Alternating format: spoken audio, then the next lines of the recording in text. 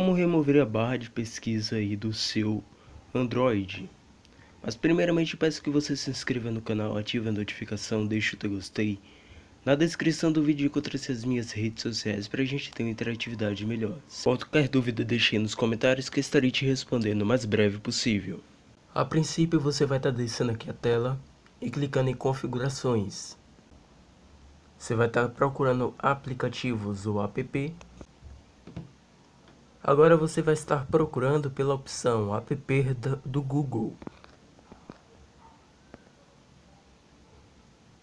Provavelmente para vocês a opção vai estar ativado.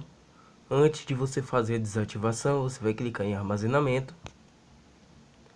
limpar cachê, vai voltar.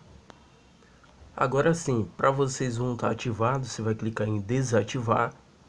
Quando aparecer o botãozinho em cinza ativar é porque ele já está desativado. Agora eu te recomendo estar reiniciando o seu dispositivo.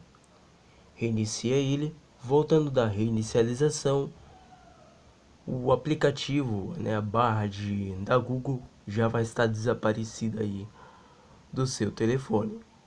Qualquer dúvida deixe aí na descrição, deixe aí nos comentários, que estarei te respondendo o mais breve possível. Eu fico por aqui, e nos vemos em um próximo vídeo.